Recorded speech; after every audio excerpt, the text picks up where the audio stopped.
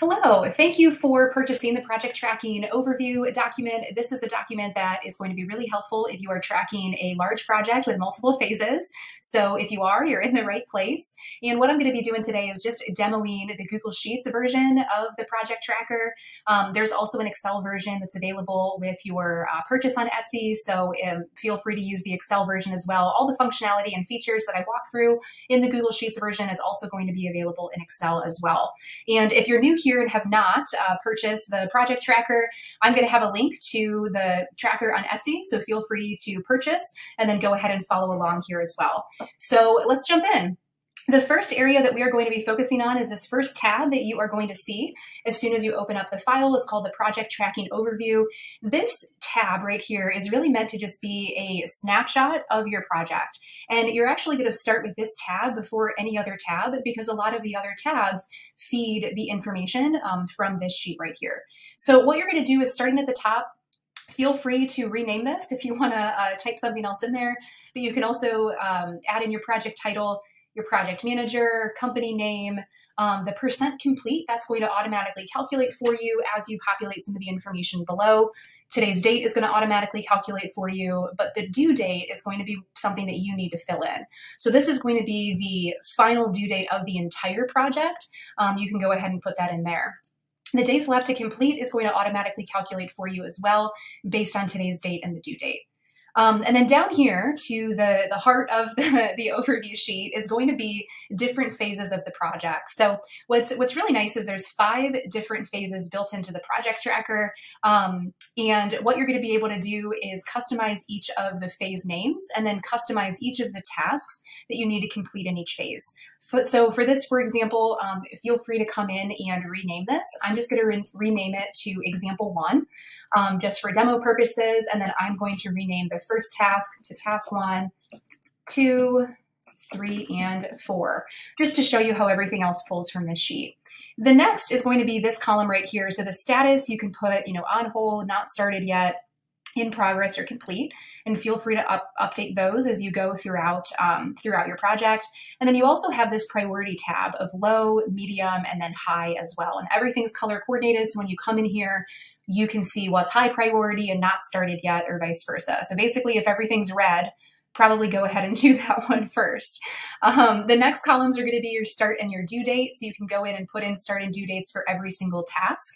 Um, typically, when one task ends, the next the next task starts. However, there are some teams that are working on multiple tasks in a project phase at the same time, and that's okay too. Up here, though, for each project phase, you can put an overall start and due date for the phase itself. Um, so here you're going to want to put the earliest start date, and then um, in the due date, you're going to want to put the latest due date of any of your tasks. This column days automatically calculates all the way down the line for you. And then here, if you're working with a team of multiple different people, you can come in here and put different names. So maybe Sue Stevens, Mark Stevens, Jim Stevens. You're working with the whole Stevens family at this point. Um, but you can come in and put in their different names. Then you can also come in and put different descriptions or notes that you have for each task. If your notes are a little bit longer than this, feel free to extend the width of the column um, right up here by doing that. And then over here, you can just track the percent complete for each task. So since this one's on hold, it's actually probably, probably going to be zero, not 100.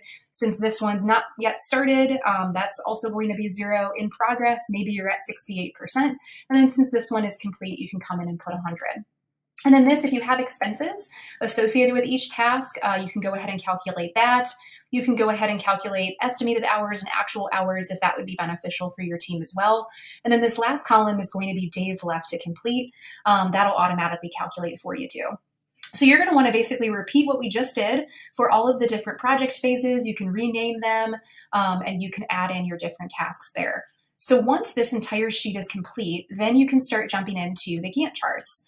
So if you click on the second tab at the bottom, this is going to be the first version of the Gantt chart.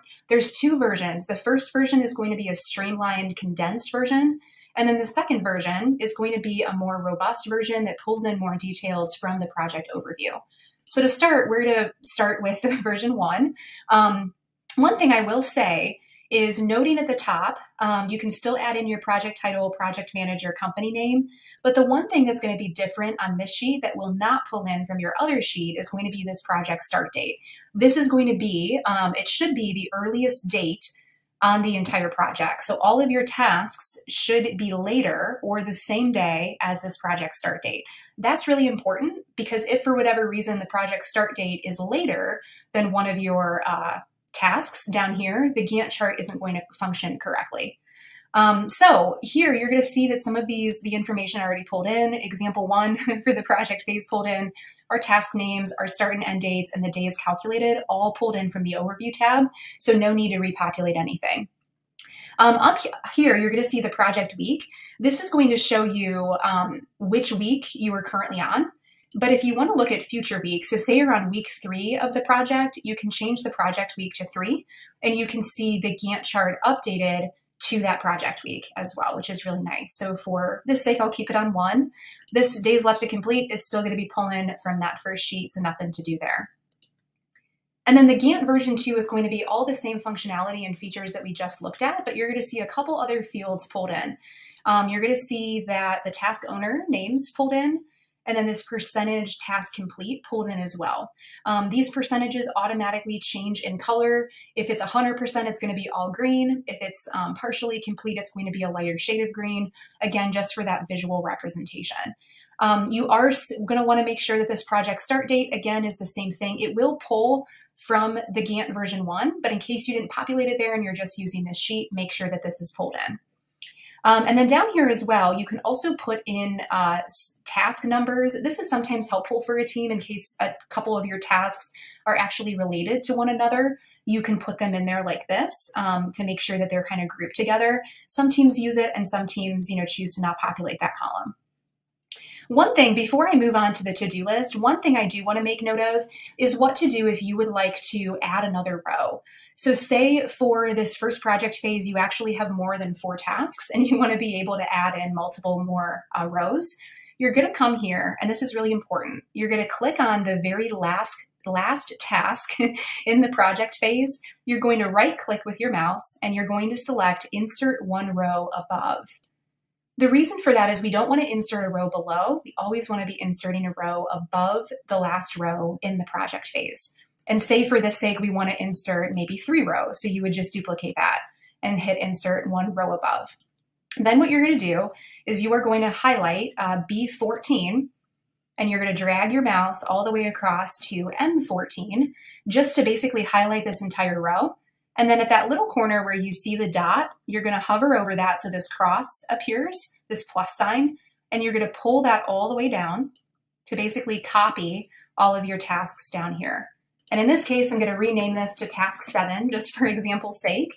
Um, but you'll see all of the features and the colors and the functionality and the formatting it all duplicated, which is really, really important um, because then all the formula formulas that are working behind the scenes um, were pulled in correctly, which is great.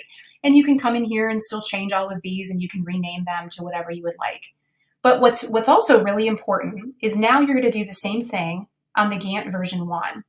So you're going to come in here to where it's the last task in this project phase and you're going to right click and click insert one row above. And since we inserted three rows, you're going to do that two more times. And then you're going to do the same thing. So you're actually going to highlight all of this, task three, all the way over to the days, and you're just going to drag down and it'll automatically pull in all of that information from your project overview sheet and it won't mess up anything else on your sheet, which is great. And then just be sure to repeat that for your Gantt version 2 if that's the preferred view. So again, you're going to come into that very last, last task in the project phase one. You're going to right click and say insert one row above. We're going to do that two more times because we added three rows. And then we're just going to highlight all the way across here and drag down. And that's going to pull in everything from that first um, that project overview, that first tab in your sheet. So that's a really easy way. You can also do that, you know, say you have additional tasks down here in project phase two, you can do that as well, or any of your additional phases. You can just go in here and insert one row above um, to the, the very last task in your sheet.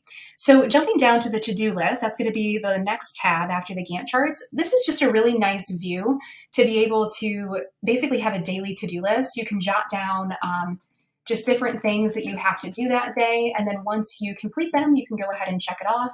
And then this number up here is going to automatically change to the number of tasks that you have completed, which is great. The next tab down here is going to be the team member daily and weekly schedule. This is a really good view if you want to see um, basically what your week looks like in colors and blocked off. Um, so what you're going to be able to do is start up here with the week of. If you work in a corporation that's open from Monday to Friday, I recommend that this week of, the date that you choose there is a Monday because then it's going to populate um, a Monday, Tuesday, Wednesday, Thursday, Friday.